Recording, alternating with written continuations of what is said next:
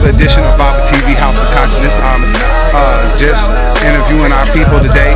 This brother been knowing me since probably I was a teenager. Uh, Baba J, when I first came into the store, he was uh, one of Rafu's assistants, and I just wanted to ask uh, Baba J, who, what do you think about uh,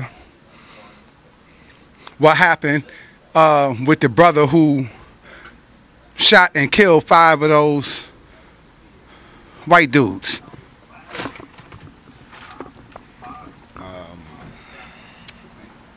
My intake on that is like what Malcolm says: the chicken is coming home to roost. Um, a people that has been oppressed for so many years and constantly being oppressed by the police force and stuff. It was a but a matter of time before retaliation by somebody would occur.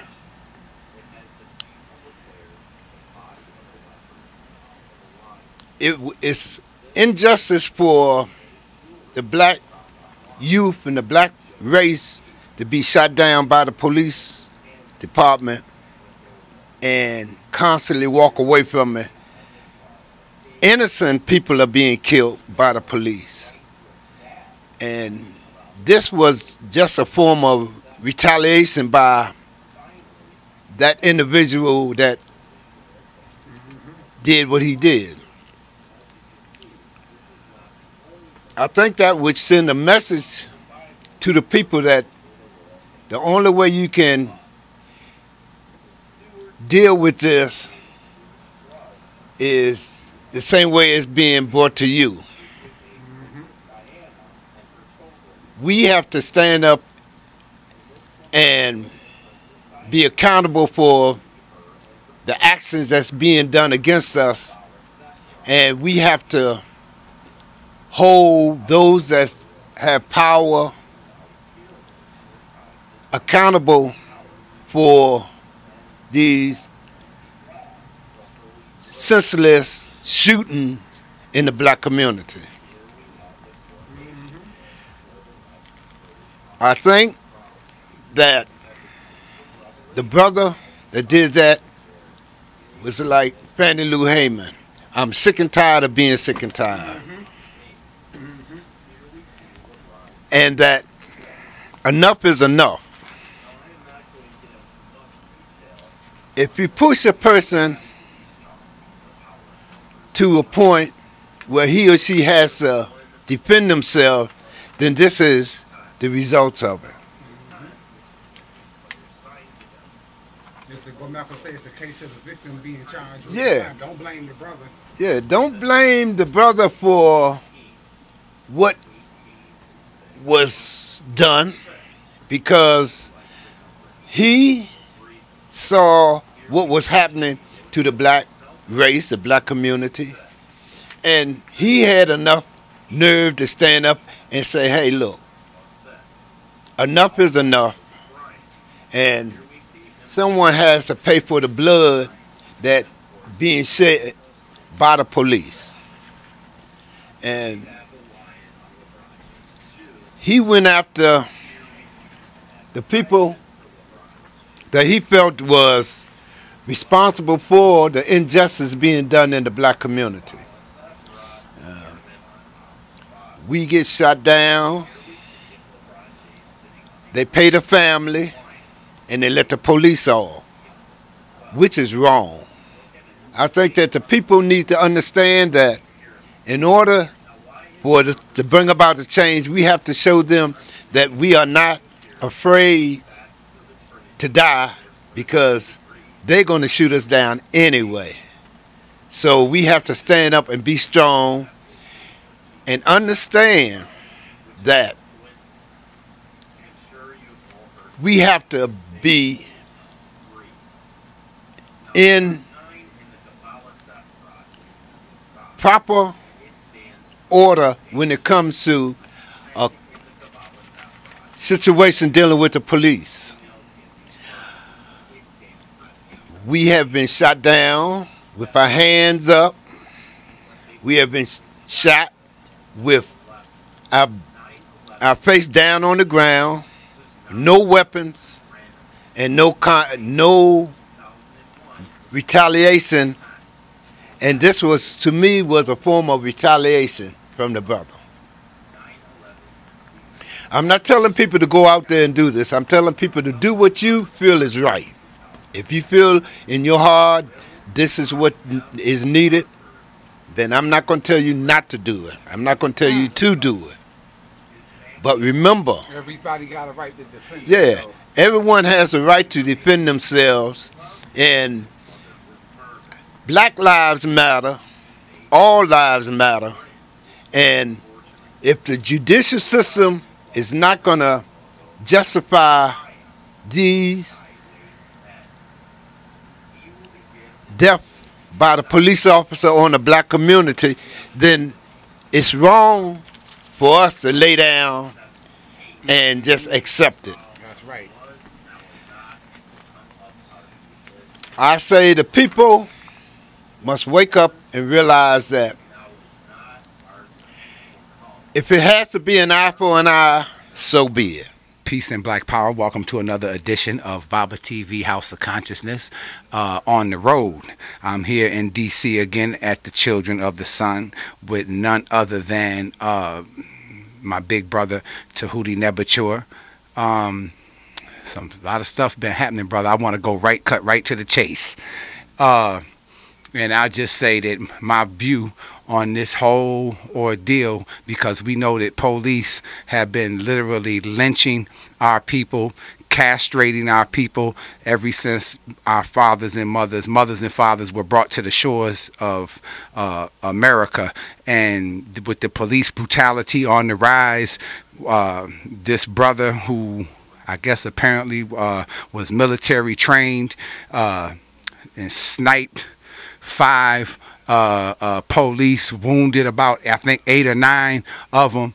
It, it reminds me the words of Brother Malcolm come back, and I'll just sum my view up by saying it was a case of the chickens coming home to roost. Uh, hello, Black Power Nation. Uh, Baba, uh, Baba, thank you for uh, giving me an opportunity to speak on topics of this nature. But yes, uh, under the cover of authority, uh, police, sheriffs, uh, soldiers, uh, everybody who's been given some type of official paperwork for over 400 years have been killing black men. See, uh, those who were what they call uh, slave catchers, those who caught runaways, or whatever, those who were overseers on plantations. The black man has caught hell ever since he was brought here in chains in this land. So here we find ourselves in July of 2016, and another incident has occurred where the tide was turned. Instead of uh, innocent black men, uh, as what happened in Baton Rouge, Louisiana, on what was that Wednesday, uh, brother laying on the ground, the police on top of him, pull his gun right out, put it right in his chest, and then the camera moves a little bit, but he's shot. You hear him uh, murdered right there on the ground in plain sight. Then Thursday in Minnesota, brother in the car, good brother, good young man, got a job working. He was licensed to carry a firearm. He informed the police of that fact, and the police put four bullets in him, with his girlfriend sitting in the car and her four-year-old daughter sitting in the back seat. So evil begets evil. And the one thing that we know is this, that a lot of the U.S. military coming back from the wars in Afghanistan and Iraq and whatever else over there in that part of the world, a lot of these men are coming back to the United States with what they have termed post-traumatic stress disorder or PTSD. See, and so whatever the, the circumstances were, here's a military trained man who said he was tired of what he was seeing. And after the last two murders of men his age, right there on camera, in my opinion, he snapped. He snapped from being passive to deciding to use his skills, you know, like to get even for what was in his mind. He decided, hey, I'm going to go out I should have gone out in Afghanistan as a soldier. He probably committed some, like a lot of American soldiers do, uh, in the fog of war. He saw things and participated in things that uh, made him question his own values. So he decided that, like so many of those brothers who come back, black, white, Hispanic, Native American, or what have you, they come back and a lot of them kill themselves. The highest rate of suicide amongst American returning soldiers are among this generation of soldiers coming back from Iran, Iraq, or, or Afghanistan. So obviously, the condition of war helped set his mind. And his mind was he was going to strike out in the name of black men and decide to wake up the nation. And the way he decided to wake the nation up was using military tactics to attack the police officers. You know, now it's, you know, somebody said two wrongs don't make a right, but let's examine the wrongs. See, by all probability, the individual police officers who were killed were not the individuals who murdered the black men on Thursday or Wednesday and Thursday. That is true. But they were symbols. They symbolized the white police officers who murdered the brothers on Wednesday and Thursday. See, like, and he struck out at the symbols. In fact, even while the police had him cornered upstairs and trying to talk him out of his uh, safety zone where he had set himself up for his last stand, he told them that he hated white police officers. That was his target as such, right? Because not those individuals, but the white police officers who have a mentality in this country that when they stop young black men on the street, the way they treat young black men is atrocious. I watched an interview with the former mayor, I think, of New York City. What's his name? Rudy Giuliani. Giuliani, and he was bragging about how he had uh, cut down black on black crime in New York, where the worst crime was in the black neighborhoods and he brought it down through this tough uh, policing tactics. Well, when you haven't done anything and you're an innocent person walking down the street and you're pulled to the side by a police officer, slammed up against the side of a wall, uh, strip searched, uh, treated uh, like less than a man, over a period of time, resentment builds up and it builds up and it builds up if you're driving down the street and uh, you see a police officer coming up behind you with the lights flashing, and you immediately move over out of the left lane to the right lane to let the police go on by, and the police stops and wants to give you a ticket for failing to signal that you were going to change lanes in order to let them by, and then two days later you you know like you end up dead in jail. You know there are things that are happening that white people don't understand. The white news anchors on these national forecasts who are coming out saying, oh, they just don't understand the anger in black people. Well, when you've had a target on your back for 400 years, and the targets on your back for 400 years have come to full fruition by seeing the number of men murdered, the number of black men who have been hanged throughout the South. Uh, it got to such a point where one of the great sisters in the entertainment business uh, wrote a song about strange fruit. See, that strange fruit was black men hanging from tree limbs as she's traveling down the highway on a bus and she's seeing uh, black men hanging. Uh, there was a great book that came out in the 1990s that uh, several people have talked about in the past. There are many pictures if you want to see the number of atrocities from the 1920s uh, 20s up through the 1950s of the atrocities done to black men. Everyone remembers 1954. Remember that young teenager from Chicago who went to Mississippi and allegedly wolf whistled at a white woman? Emmett Till. And, you know, like I was a young, I was what, 10 years old in 1954. I saw his picture in Jet. I saw his picture in the Ebony magazine. I know the impact it had on me at that time. So we're not talking about just an incident on Wednesday in Baton Rouge and Thursday in, Miss in Minnesota. We're talking about a 400 year long history of incident after incident after incident. I'm hearing all of these, some good men saying, well, hey, you know, we have to tell our sons when the police stop you, don't do nothing. Do just what they say. Live. You know, that is true. But why should we have to cower and act like less than a man in society? What's up with that? Why should we have to walk through America tepid. See, why should we have to walk through America with our heads bent down and our shoulders sagging, you know, for fear that just because we are black men, that a police officer, you know, like is going to do something to us or stop us. You know, we've had plenty of examples. So for white people who don't understand, 400 years of being murdered at the hands of people who have used the cover of authority. I think that's the official term.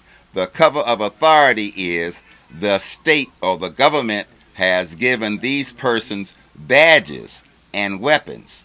And what the, whatever their word is is supposed to be uh, solid gold. So what they said happened, happened. They shoot a man down, and they turn around and say the man had a gun. Uh, how? What is the history of police officers with what they call throwdown weapons, the, the extra weapon down in their uh, ankle, so that if a brother didn't have a weapon, they can throw one down beside him and said he was armed, so they killed him in self-defense. Black men in America are tired of the tactics of white authority imposing their will on us their way. And if the main thing that they are doing is killing us, why should a man wait until he's the victim of the murder by a police officer? So young black men are tired of it. Black people are tired of it. We're standing up. We're saying, wait a minute. White America, you have to face what you've done over the last 400 years. You have to understand that your behavior caused this young black man to snap. And not just snap to crazy, but snap to good sense. To say rather than die just because, I'm going to die because I'm going out to defend myself up front. I'd rather die taking five of you out and my and me being the one that dies. I'd rather do it in that fashion than just wait, you know, like with under the stress of wondering at what point and what time in history is one of those idiotic, nasty, low-minded white police officers going to be the one to take me out you have to understand our point of view. I heard a news anchor say this morning, well, uh, I don't understand what it is being black. Well, I understand what it is being black. 72 years of it, all right? And going, growing up in the late 40s and 50s under real, under hard Jim Crow in Virginia. It was a hard thing, boy, when you're scared. You, when fear is put into you, act like you see a police, be afraid of it. As a teenager, like so many my age, starting in the mid to late 50s, organized. In the, in the early 60s, organized. I'm talking about the beginning of SNCC, the student organization that decided to fight back and fight Jim Crow. Stood up and looked evil in the face got on the buses, took their freedom rides through the South, went down to the harshest state in the United States of America, Mississippi, and helped to organize the black folks to get them the right to vote to change their own conditions. We knew that as long as we cowered down and then organized to resist outright oppression, that there would be continued, continued incidents where black men would end up dead and the official report is uh, it must have been a gang killing. It must have been a, a drug killing. Who else has the authority riding around after between midnight and four o'clock in the morning over the streets and finding a lone brother by himself and can take a brother out? See, like, and they say, well, nobody, uh, young black men are dying and nobody knows who did it. You know, like, but the, but the reason given by the state is it must have been a drug killing, a gang killing, or something of that nature. How do we know that there are not rogue police officers riding around through the cities of America between midnight and four in the morning, finding black men by themselves and murdering them with these throwaway weapons? We don't know that. See, but we take their word, their explanation for what they are finding. Where July 2016 is a new day uh, we look at the events of Friday as a symbol, and it symbolizes a change in attitude of young black men toward white police officers.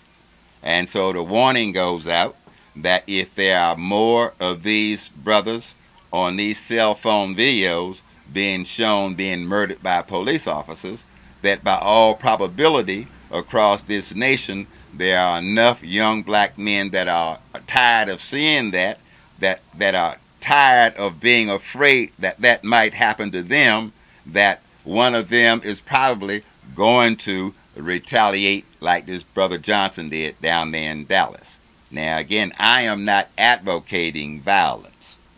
I am not foolish enough to uh, be to, to, to openly talk on a videotape telling brothers to commit to violence. I'm trying to analyze the society that I see, and from what I see, my conclusion is that from what I hear young black men are saying, and from what I see that white police officers are doing, that there comes a time when you draw a red line in the sand and you say we're not going to let this keep happening to us.